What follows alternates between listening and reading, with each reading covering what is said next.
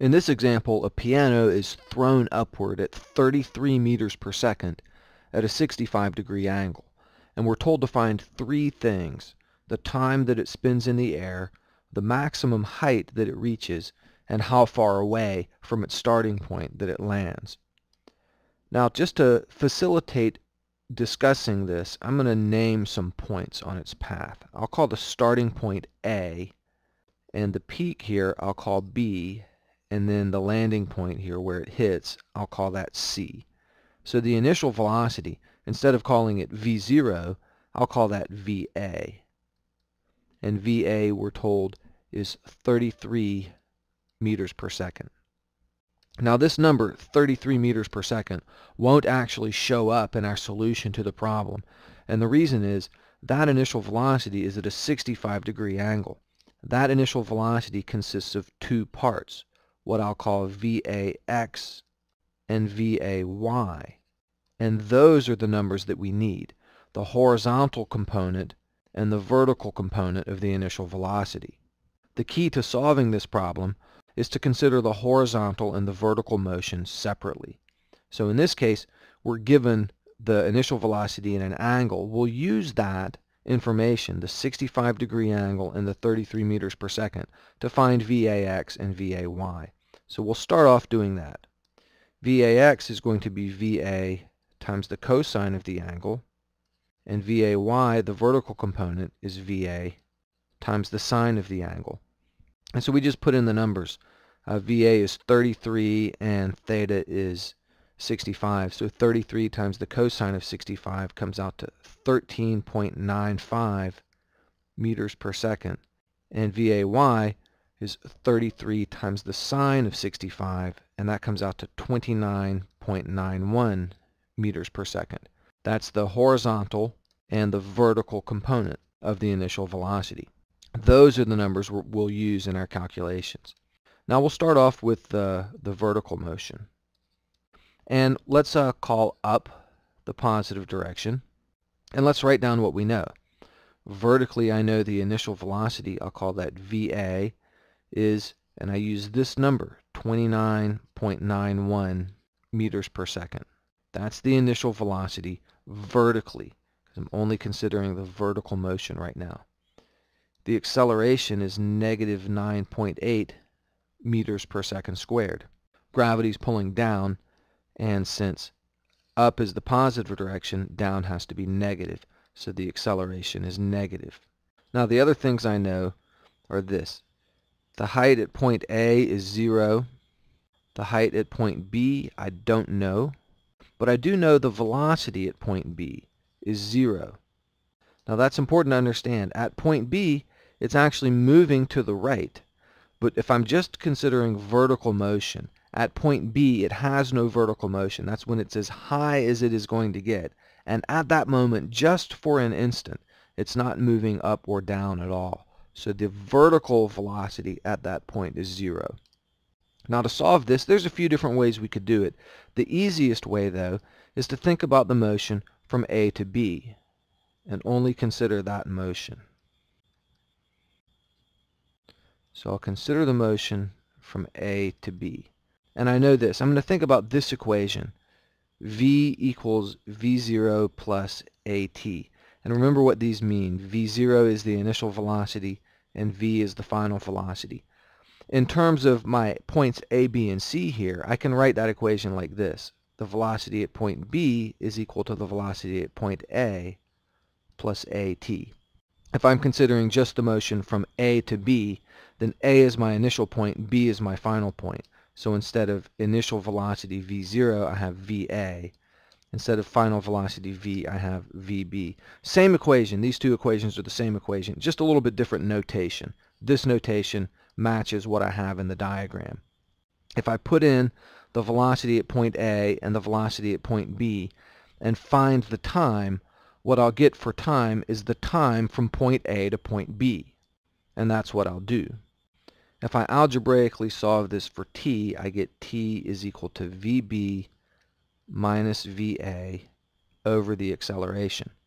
And we can put in the numbers. The velocity at point B is 0 minus the velocity at point A. And for that, I use this number, remember, the, the vertical component, not my 33. I'm just considering the vertical motion, so I use the vertical component, 29.91.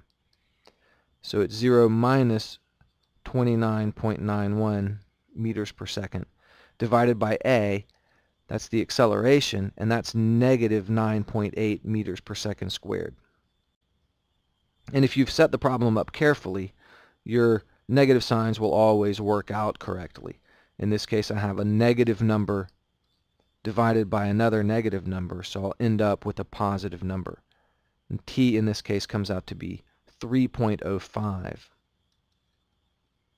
And you can see the meters canceling and one of the seconds canceling, leaving us with seconds. So it's 3.05 seconds. Now that's the time from A to B. So the total time from A to C, the total time in the air, is going to be twice that. And that's 6.1 seconds. So the 3.0 seconds was the time to the peak. And the total time is 6.1 seconds. Now I'm going to erase some of this so I have some room to solve the next part. The next thing I want to find is the maximum height, which will be the height at the peak. So I can use this equation, y is y0 plus v0t plus 1 half at squared. What this equation will give me is the height y at any given time t. So I'll plug in a time t, put in a number for t, and I'll get out the height y at that time. If I want to know the height at the peak, then I need to plug in for t here the time for the peak. And so I'll be using this time, 3.05 seconds.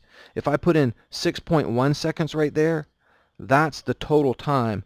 6.1 seconds is the moment of impact. If I put in 6.1 seconds, I would get out a zero for y. And you can try that if you want to. What we're trying to find now is the maximum height. So instead of putting in 6.1, I need to put in 3.05 right there for both of those.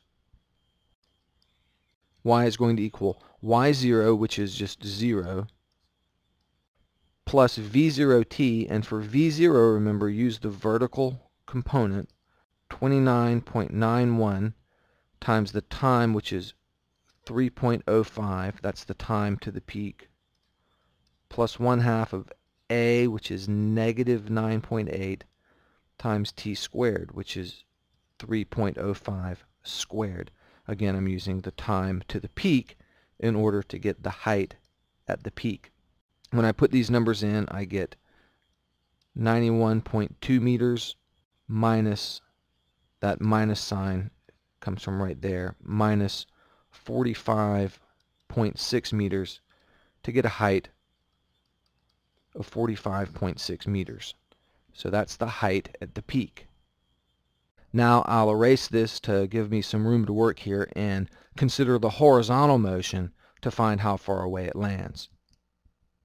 The horizontal motion, and what we know is this, the initial velocity horizontally is 13.95 meters per second. The acceleration horizontally is zero and the initial position horizontally is also 0. And what I want to do is find the final position. And again, I can use this equation, x0 plus v0t plus 1 half at squared. And in this case, the initial position is 0 and the acceleration is 0. So that second term goes to 0. So our equation simplifies to this. Distance is rate times time. So I can put in any number for t and find out how far it's moved horizontally. In this case, I'm going to use my, my initial velocity, 13.95 meters per second, and I'll put in my time of 6.1 seconds. That was the time from start to finish.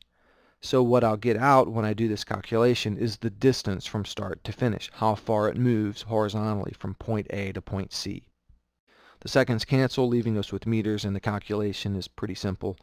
Just pull out the calculator. 13.95 times 6.1 gives us 85.1 meters.